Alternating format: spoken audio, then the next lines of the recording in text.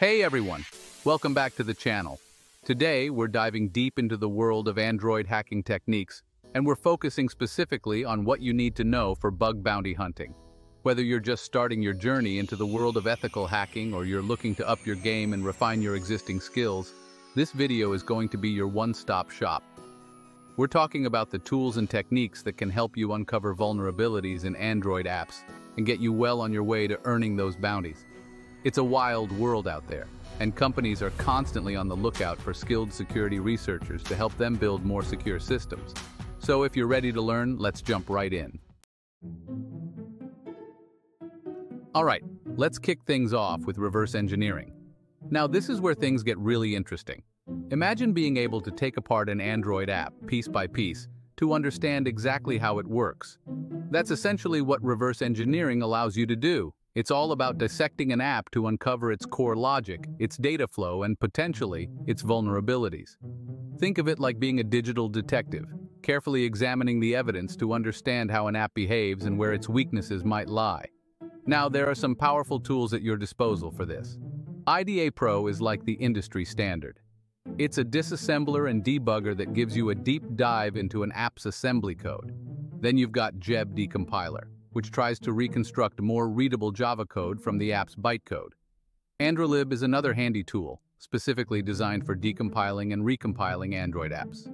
But why is reverse engineering so crucial for bug bounty hunting? Well, it allows you to go beyond the surface. You're not just interacting with the app like a normal user, you're peeling back the layers, understanding its inner workings. And that's where you often find those hidden vulnerabilities that others might miss. It's not always easy, though. Reverse engineering can be like trying to solve a complex puzzle, especially with obfuscated code designed to make analysis difficult. But hey, that's part of the challenge, right? And the rewards can be huge, both in terms of knowledge gained and bounties earned. So if you're serious about bug bounty hunting, mastering reverse engineering is a must. It's your key to unlocking the secrets hidden within Android apps. With reverse engineering under our belt, let's move on to dynamic analysis. If reverse engineering is about dissecting an app at rest, dynamic analysis is about observing it in action, like a scientist studying a living organism under a microscope. We're talking about running the app in a controlled environment, whether it's an emulator or a physical device, and monitoring its behavior. We want to see how it interacts with the system, how it handles data, and most importantly, how it reacts to unexpected inputs or conditions. And when it comes to dynamic analysis, you've got a whole arsenal of tools to play with. ADB, the Android Debug Bridge, is your command line interface to communicate with your device or emulator. It lets you install apps, access logs, and even execute shell commands directly on the device. Then there's Monkey, a mischievous little tool that lives up to its name. You unleash Monkey on your app, and it starts generating random events, touches, clicks, system events, basically trying to crash the app or make it behave unexpectedly. And if you want to take your dynamic analysis to the next level, there's Frida. This powerful tool allows you to inject your own JavaScript code into a running app, giving you incredible control and insight into its runtime behavior. You can hook into specific functions, modify data on the fly, and really get under the hood of the app. Dynamic analysis is all about catching those elusive bugs that might not be apparent from static code analysis alone. It's about understanding how the app behaves in the real world and identifying vulnerabilities that might be exploited by malicious actors. All right, now let's talk about fuzzing, because sometimes a little chaos can be a good thing, especially when it comes to finding security vulnerabilities. In a nutshell, fuzzing is like bombarding your app with a barrage of random or unexpected inputs, hoping to trigger a crash or an unexpected behavior that reveals a weakness. Think of it like stress testing your app, pushing it to its limits to see if it can handle the pressure. And trust me, when you're dealing with complex software, there's always a chance that some weird combination of inputs can lead to unexpected results. Now, you don't have to generate all that random data yourself. We've got some great tools for that. American Fuzzy Lop, or AFL, is a popular choice. It's known for its speed and efficiency in finding vulnerabilities. Then there's LibFuzzer, another powerful fuzzing engine that integrates well with other testing frameworks. The beauty of fuzzing is that it can uncover vulnerabilities that you might never have thought to look for manually. It's like having an army of testers trying every possible input combination 24-7. Of course, you need to be prepared to sift through a lot of data, But when you find that one critical bug that brings the whole system crashing down, you'll know it was worth it. So if you're serious about finding those hidden vulnerabilities, fuzzing is definitely a technique you want to add to your arsenal. It's chaotic, it's unpredictable, but it's also incredibly effective. Let's jump into the world of code review. While we've talked about some pretty high-tech methods for uncovering vulnerabilities, sometimes there's no substitute for the human eye. Code review is all about diving deep into the source code of an application, line by line, looking for those subtle flaws or oversights that automated tools might miss. It's a meticulous process, requiring patience, attention to detail, and a deep understanding of programming languages and security best practices. You're essentially playing the role of a detective, carefully scrutinizing every piece of code for any signs of weakness. Platforms like GitHub and GitLab have become essential for code review, allowing teams to collaborate, review changes, and track issues efficiently. But even with these tools, effective code review often comes down to good old-fashioned human intuition and experience. Now, you might be thinking, isn't this a bit tedious compared to automated tools? And yeah, it can be. But here's the thing. Automated tools are great at catching common vulnerabilities, but they can't think like a human attacker. They don't always understand the context, the logic flaws, or the subtle design issues that can lead to serious security risks.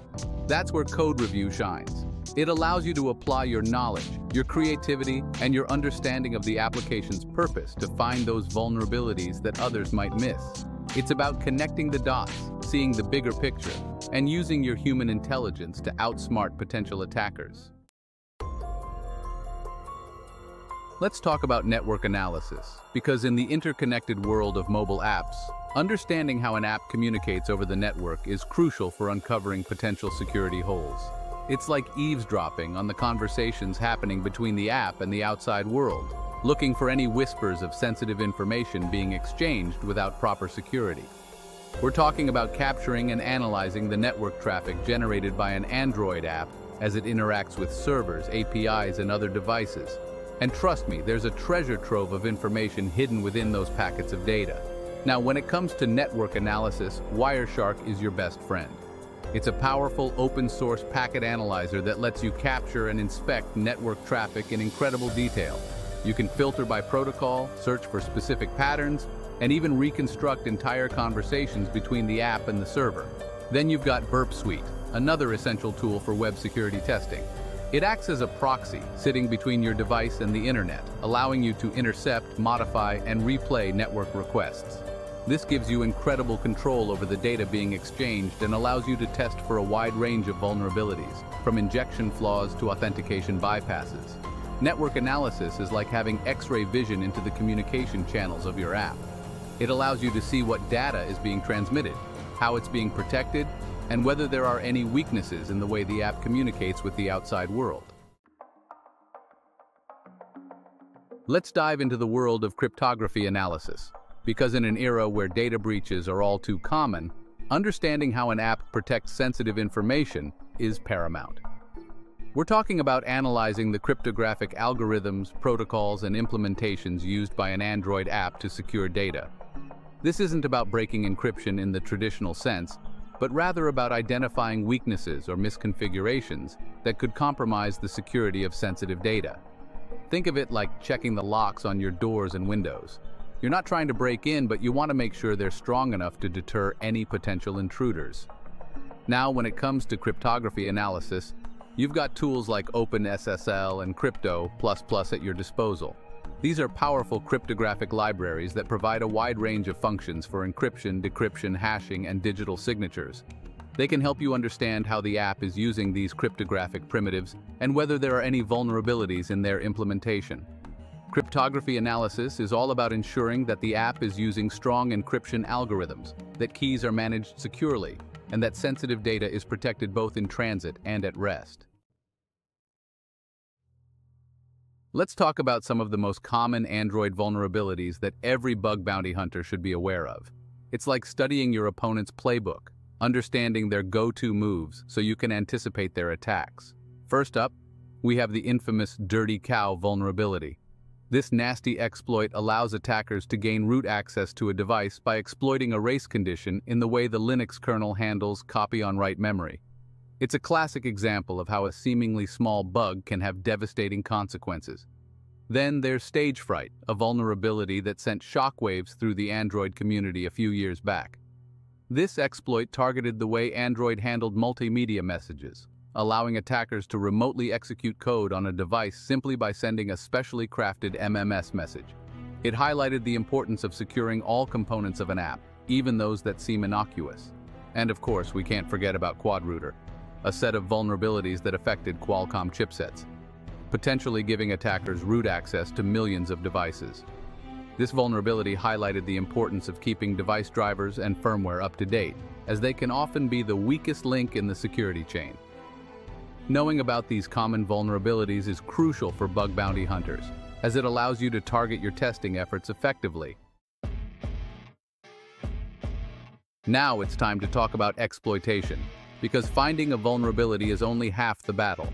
To truly understand its impact and demonstrate its severity, you need to craft an exploit that proves you can actually leverage it to gain unauthorized access or compromise the system.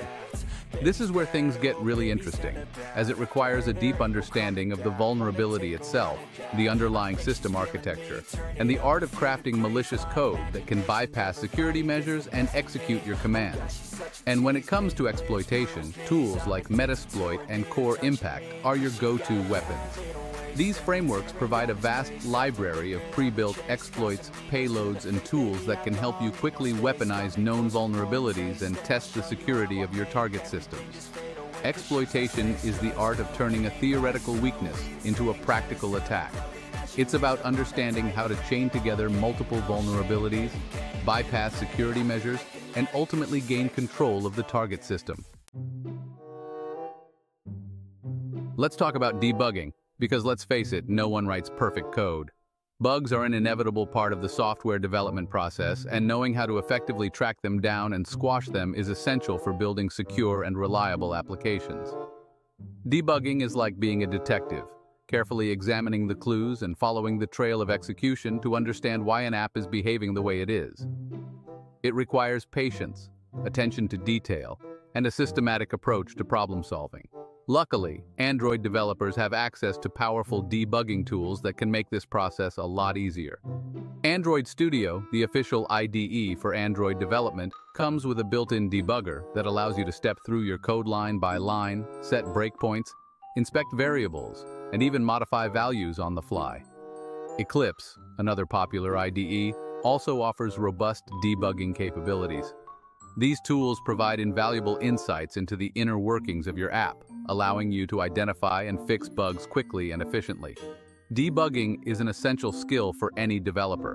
Whether you're building mobile apps, web applications, or desktop software, it's about understanding how your code interacts with the system, identifying potential issues early on, and ensuring that your software behaves as expected. Finally, let's wrap up by talking about security testing, because building secure apps is not a one-time event. It's an ongoing process that requires constant vigilance and a commitment to staying ahead of the curve. It's about integrating security into every stage of the software development lifecycle, from design to deployment and beyond. Security testing involves a wide range of techniques and tools, from automated vulnerability scanners to manual penetration testing. It's about identifying potential weaknesses in your app's defenses and taking steps to mitigate them before attackers can exploit them. OWASP, ZAP, and Burp Suite, which we discussed earlier, are also invaluable tools for security testing. These tools can help you identify common web application vulnerabilities, such as injection flaws, cross-site scripting, and broken authentication, and provide guidance on how to fix them. But security testing is more than just running automated scans. It's about understanding the unique security risks faced by your app, developing a comprehensive testing strategy, and continuously evaluating and improving your security posture. That's a wrap on today's video. I hope you found these Android hacking techniques useful for your bug bounty hunting journey. Remember, with great power comes great responsibility, so always use your knowledge for good and help make the digital world a safer place. Don't forget to like, subscribe, and hit that bell icon for more tech content. Until next time, stay curious, stay safe, and happy hacking.